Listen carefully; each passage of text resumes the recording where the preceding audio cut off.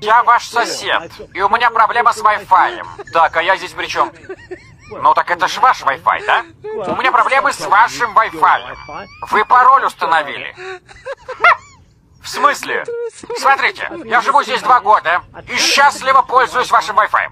А сейчас вы зачем-то установили пароль. Я больше не могу им пользоваться. В этом не было необходимости. Подождите, что вы говорите?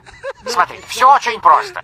Вы даете мне пароль или вообще его отключаете. Вот и все. Вы мой Wi-Fi используете? Ну, я не знаю, сколько там именно вашего Wi-Fi. Ну, понимаете, это же просто сигнал, правда? И сигнал он как бы не заперт в ваших четырех стенах. Он иногда вылетает и находится в публичной собственности. И я могу его использовать, соответственно. Из этой ситуации есть два выхода. Вот. Самый простой, вы даете мне ваш пароль. И, конечно, вы всегда можете его отключить. И на этом все. Все ж так просто, господи, а? Да, но проблема в том, что я плачу за свой Wi-Fi. Поставил пароль, потому что плохо стало все грузиться. Из-за того, что кто-то им пользовался. Оказалось, что это вы. Да, очевидно, это был я. Но если у вас много какой-то работы, можете сказать, чтобы я не качал торренты. Я бы поставил на стоп свои закачки. Как-то вот не по-соседски, знаете ли. Нужно быть более открытым с такими вещами.